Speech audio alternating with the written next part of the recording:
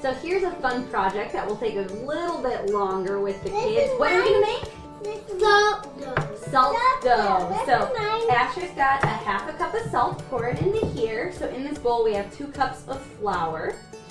And there you go. Good job. And now Jackson, you have three quarters of a cup of warm water.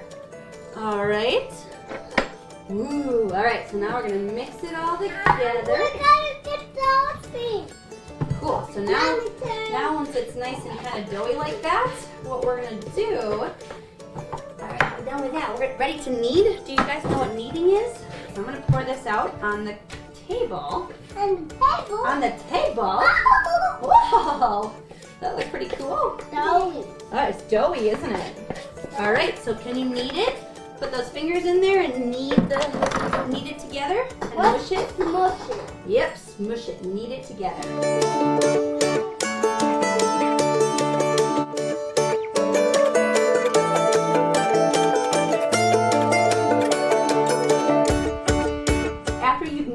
Kneaded the dough for about 10 minutes, you can separate it off. Here's your ball, and here's yours. Now you kind of flatten it out, and you get to roll it out. So we've got some little Play-Doh rollers to roll it out.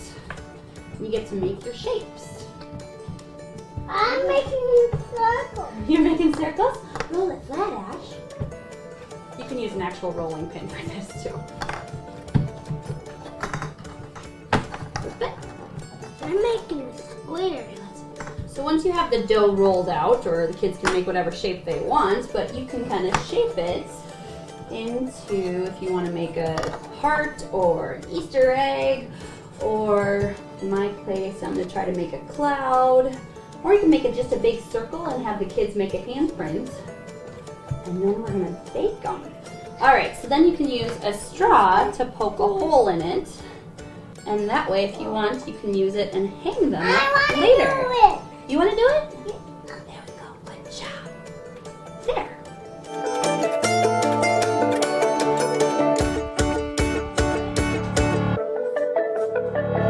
I like it.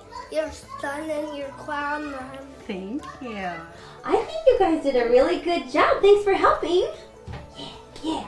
All right, now we take our creations and we put them into the oven for an hour and a half at 250 degrees. Very important, these are not for dogs to eat. They will make them sick. So these are just decorations that you can then paint and decorate your house later on. Enjoy.